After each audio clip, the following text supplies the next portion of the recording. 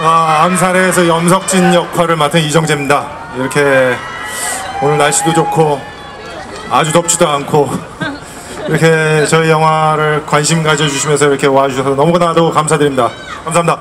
이번 암살에서 청부살인업자 하와이 피스톨 역할을 맡은 하정우입니다.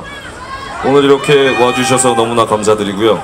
저희 영화 7월 22일 날 개봉합니다. 조금만 기다려 주십시오. 감사합니다.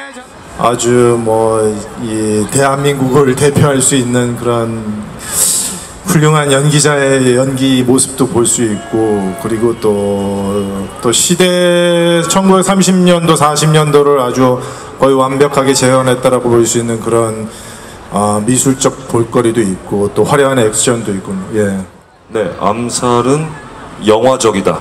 영화적이다. 네. 어, 굉장히 영화 같은 영화가 한 편 올해 나온 것 같아요. 어, 그래서 어, 극장 찾아오셔서 영화를 보시면 아마 어, 영화적이다라는 오늘 저의 얘기가 뭔지 아시게 될 거라고 저는 생각을 합니다.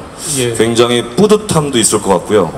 굉장히 시원하고 네, 멋질 것 같습니다.